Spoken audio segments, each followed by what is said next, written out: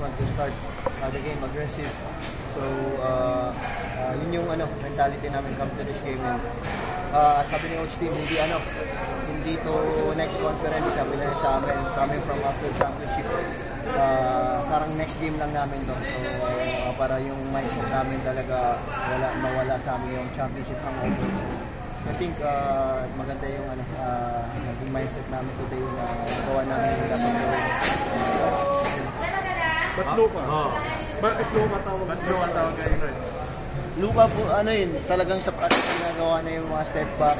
Eh, idol na rin sinata si Luka. Uh, Kare, ina-ankle break niya ako sa practice. on record. Oo, kaya uh, ganda ng ginawa niya. Ang, ang kinaganda kay Nurse talaga is ready siya every time tinatawag yung pangalan niya. Kahit uh, late na ginagamit or never siya ginamit sometimes. No?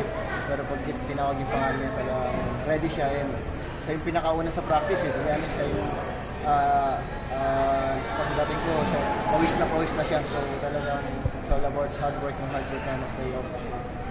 Credit sa kanya talaga na naging ready siya.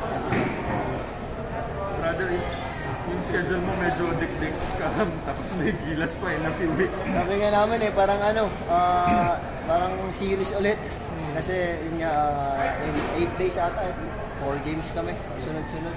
Ah, ah, I think, ano, ah, maganda, maganda yung at least kahit pa paano, uh, ganun yung laro, makuha namin yung momentum namin. ah, as much as possible, yun yung gusto namin mangyari. And then, ah, yun nga, uh, this con- conference, ang daming ah, iba yung mga imports talagang ah, ah, high caliber lahat ng mga imports. So, ah, kailangan namin tulungan si Justin.